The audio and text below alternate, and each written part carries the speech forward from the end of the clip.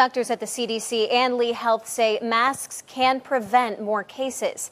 That's why today Cape Coral is considering a mask mandate. They tabled it last week over those heated comments you heard. NBC2 Shannon Clow is live in Cape Coral now. Shannon, where would we need to mask up in the city?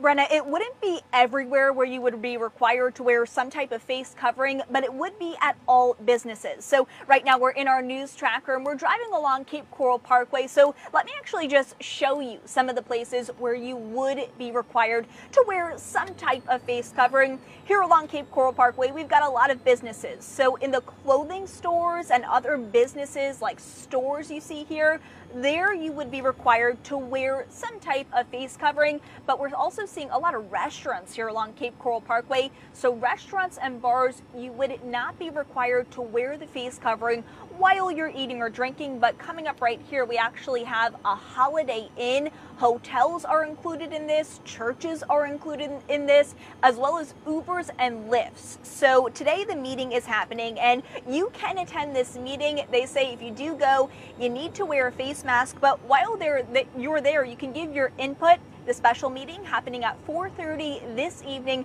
and we are expecting Cape Coral Council to make a decision. I'm live in Cape Coral. Shannon Clow, NBC2.